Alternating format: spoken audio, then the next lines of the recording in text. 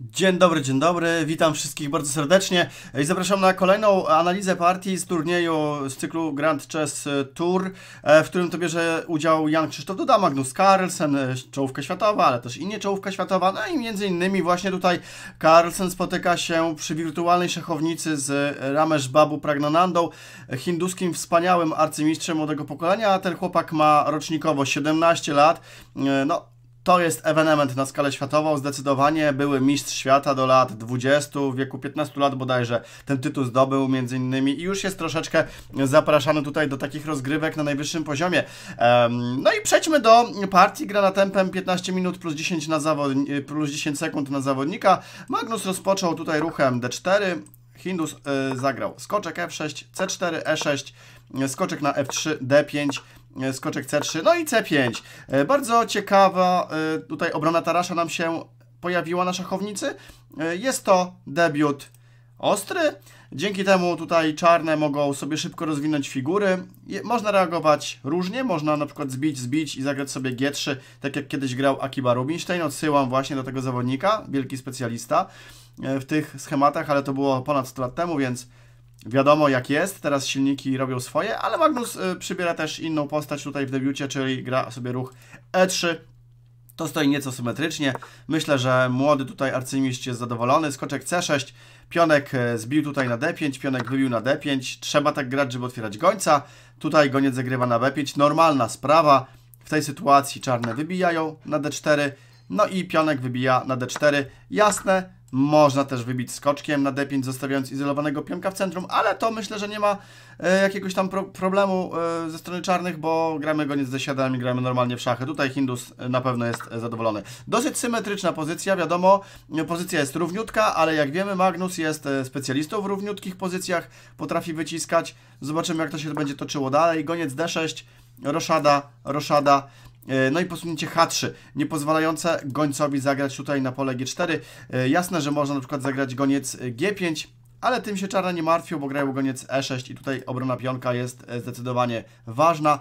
Normalna, bardzo równa pozycja. Więc Magnus gra H3, ograniczając gońca, jak już wspomniałem, gońca z C8. H6 to samo robią czarne, ograniczają gońca z C1. Proste plany, wieża E1, goniec F5.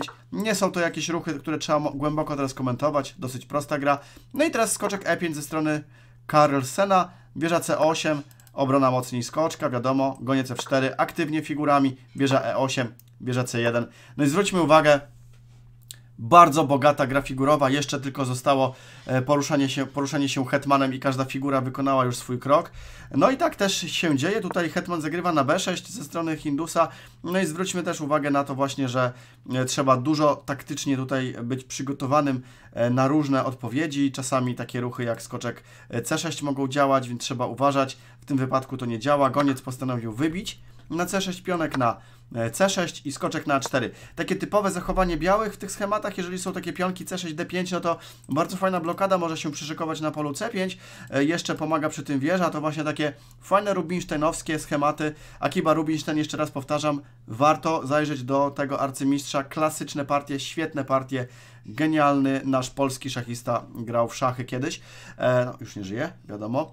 Tutaj e, Hetman zagrywa na A6 w tym momencie i Wieża E3. Wieża E3 ma na celu na pewno jakąś tam obronę. No nie mogę tutaj oczywiście, bo jest goniec, y, rzecz jasna, ale ta wieża czasami może też przejść głównie na pole G3 i próbować tam y, atakować czarnego monarchę. W tym układzie skoczek zagrywa na E4, nie pozwala tutaj za bardzo wieży się rozbrykać. F3 Tutaj no, skoczek atakowany dosyć, dosyć poważnie. Skoczek zagrywa na G5 w tym układzie. No i teraz wieża z E3 na C3. Widzimy teraz też plan y, białych, jaki był tutaj Carlsena przy okazji. Wieża na G3 mogła, teraz idzie na sobie na C3. Mocniej atakujemy pionka C6. No i teoretycznie tak mi się wydaje, że są problemy u czarnych. Ale zwróćmy uwagę, że nie do końca, jak się przyjrzymy na te, e, w, tej, w tej sytuacji e, dokładniej, bo Hetman zagrywa na B7. I teraz nie ma takiego bicia wtrąconego z atakiem na Hetmana, więc mm, widzimy też, że tego pionka no nie można zbić, ja już pokazuję dlaczego, bo na przykład skoczek zbija, to goniec zbija na F4. Jest po zawodach. Jak tutaj zbija skoczek, to hetman zbija. Przewaga materialna po stronie czarnych, no wygrana. No, zresztą nie można, tutaj jest wszystko bronione, w ogóle pokazuje głupotkę, tak? E, więc e, skoczek po prostu nie może zbić na C6. To jest prosta rzecz, a jak zbije wieża, no to dzieją się podobne rzeczy. Wieża zbija, Jeżeli zbija wieża, to goniec zbija na E5 i tutaj wieża, wieża wisi, straty materialne, przegrana pozycja, więc taktycznie póki co pionek jest zatruty na C6, dlatego też pewnie goniec zagrywa na H, H2, aby go, hetman go trochę tutaj, hetman, chciałbym, król go trochę tutaj wspomaga. No i w tej, w tej sytuacji skoczek na E6. Jak skoczek na E6 staje, to zwykle to jest e, dobra figura, bo on z centrum może fajnie tutaj sobie działać na bardzo kluczowe pola e, na szachownicy. Broni na C5, atakuje na D4, no i na F4 trochę kontroluje, ale to takie tylko, e, wiecie, obrazkowe gadanie, co ten skoczek może robić. Na konkretach tutaj szachy bazują. No i teraz skoczek zbił na C6. No i teraz chwilę musimy się zastanowić, bo Tutaj od razu powiem, że Hindus zagrał skoczek F4. Nie jest to błąd, absolutnie, ale można byłoby zagrać jeszcze lepiej i od razu powiem, że to, to tutaj co się dzieje to jest naprawdę bardzo wysoki poziom, ciężko e, mi się doliczyć absolutnie, nawet jak silnik trochę pomaga, to też za bardzo nie orientuję się o co chodzi. E, znaczy, zwróćmy uwagę, co można by było zagrać i e, może się trochę rozjaśni. Przede wszystkim bicie gońca byłoby dobre, bo pozbywamy się silnej figury i po czarnych polach możemy tutaj e, męczyć. Skoczek F4 byłby świetnym ruchem. E, dlaczego? Skoczek F4 zwiastuje problemy zwykle, tak jak skoczek biały na F5. E, skoczek e, tutaj pomaga przede wszystkim wejść wieży na E2 i atakować na G2. I przykładowo, jakby tutaj skoczek zagrał na E5, moglibyśmy wybić, wieża by mogła wybić i F6. No i nie ma wyjścia, skoczek gdzieś musi uciekać, na G4 przypuszczam i wieża E2. No i tak naprawdę robi się gorąco tutaj, e, pozycja jest bardzo nieprzyjemna białymi, mogłaby być. Tu jeszcze jakiś skoczek na E3 i to już są takie pozycje, gdzie ja tego za bardzo nie rozumiem. Hetman D7 każe grać silnik. E, to jest pewnie takie trochę wyczekanie. Zobaczcie, że nie można przepędzić skoczka z F4, który broni wieży. Wieża mocno tutaj pilnuje punkt e, G2. Jakiś ruch typu goniec H3 teraz grozi. Bardzo niebezpieczne rzeczy e, są tutaj e, po stronie właśnie białych. Znaczy białymi, białe są tu w tarapatach, mówiąc wprost. Ale ja się w to nie zagłębiałem za bardzo, jak ktoś chce taktycznie mocno uderzyć, to bardzo proszę. Hindus chyba poleciał troszkę tutaj z takim ruchem mniej mniej, takim troszeczkę łatwiejszym do liczenia i po tym ruchu tutaj skoczek na E5 zasłonił, no to goniec go rąbnął i skoczek zagrywa na D3. No i to też wygląda bardzo atrakcyjnie. Skoczek w centrum może tu robić niezłe dymy, szczególnie, że jak się hetman dostanie na diagonale A7, G1, no to tutaj może być bardzo źle yy, dla białego króla. Wieża zbiła na C8, wieża zbiła na C8, wymiana ciężkich figur do samego końca. I goniec zagrywa na G3. Słusznie, goniec troszkę kontroluje, król zawsze ma ucieczkę, to jest ważne, ale Hindus gra D4. Y, no i tak naprawdę jest to pozycja blisko remisowa, bo ciężko się przebić, ale wizualnie wygląda to tak, jakby czarne tutaj męczyły przeciwnika. B3 zawsze się przyda to posunięcie broniąc skoczka. Skoczek może jakoś tu próbować się przerzucić. Hetman C6 w tej sytuacji. Hetman D2, e, król H7. Na spokojnie, jak na wojnie. Zawsze e, król spokojnie sobie może zagrać, wyczekać trochę pozycji. To jest ważne.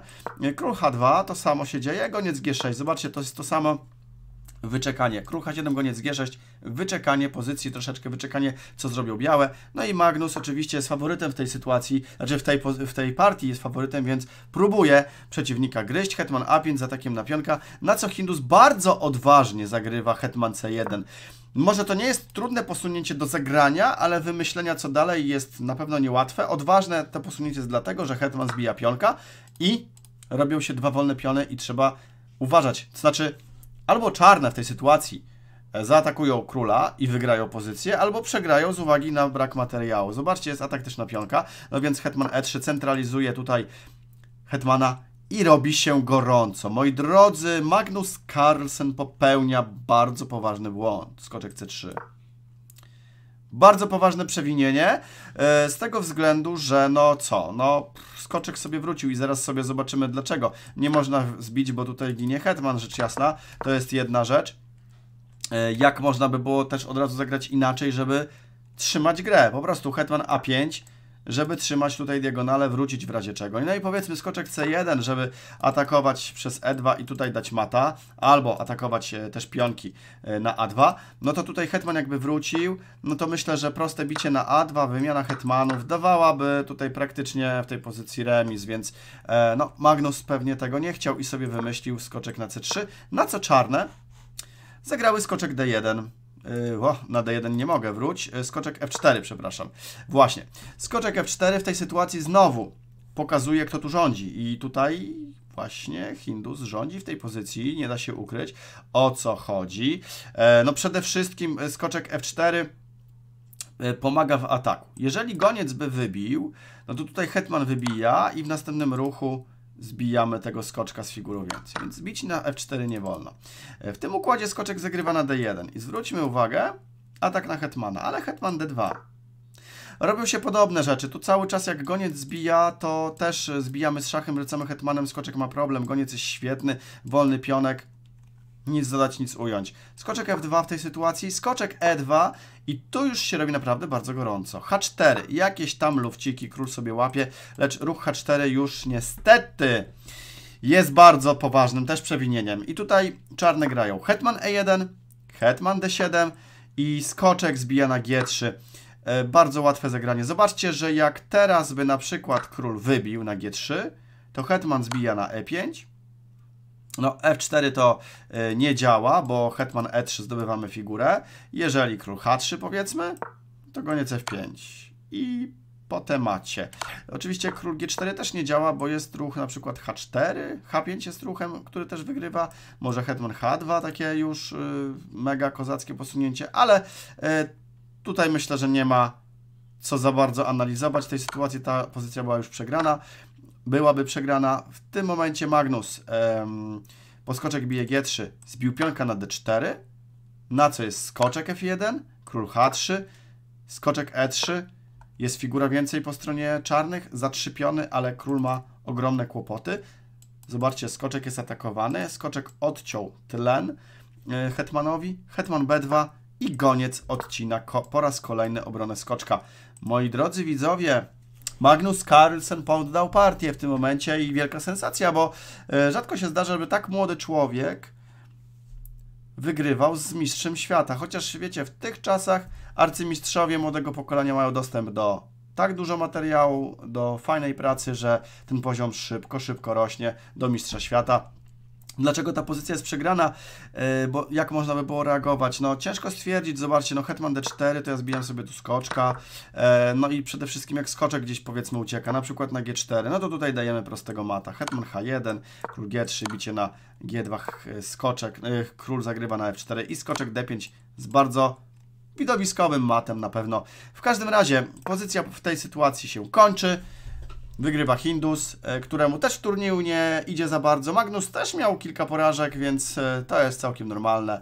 Ale myślę, że ciekawa sensacja. Dzięki serdecznie za uwagę. Zapraszam do pobrania e-booka. W komentarzu macie link i e, w opisie filmu. Pozdrawiam, cześć.